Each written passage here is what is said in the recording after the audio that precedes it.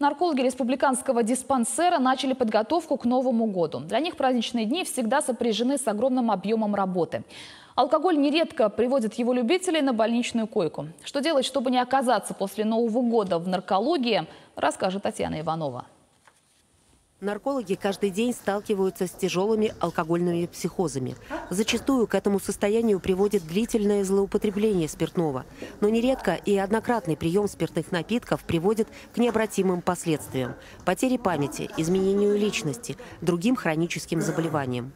В праздничные дни бывает и так, что ни одна койка в наркологии не пустует. Поэтому врачи уже готовят запасы медикаментов и памперсов. Пьянка может довести и до полностью невменяемого состояния, и даже до комы. К нам в отделение поступают люди, которые имеют достаточно тяжелые осложнения, которые связаны с длительным потреблением алкоголя, с потреблением суррогатного алкоголя и развитием тяжелых осложнений на фоне его приема.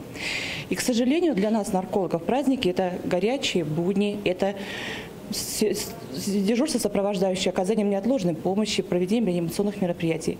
Традицию праздников с алкоголем врачи не приветствуют и рекомендуют полностью отказаться от дурманящих напитков, мотивируя это тем, что спиртное на самом деле очень сильный депрессант.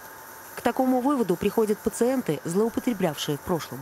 Многие из них стремятся перед праздниками снова пройти курс лечения в реабилитационном отделении, чтобы суметь психологически противостоять культу праздничного питья.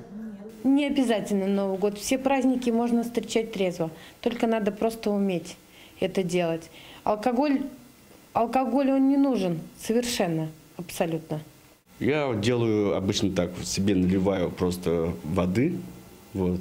И некоторые там, допустим, в компании сидишь и себе наливаю воды просто за место спиртного и просто употребляю воду.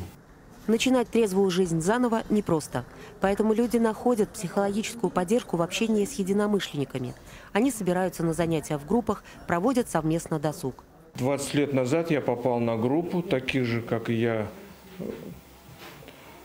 людей, которые когда-то выпивали, но потом отказались.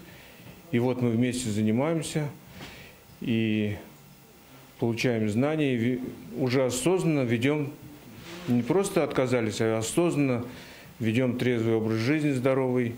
Меня зовут Владислав, мне 70 лет.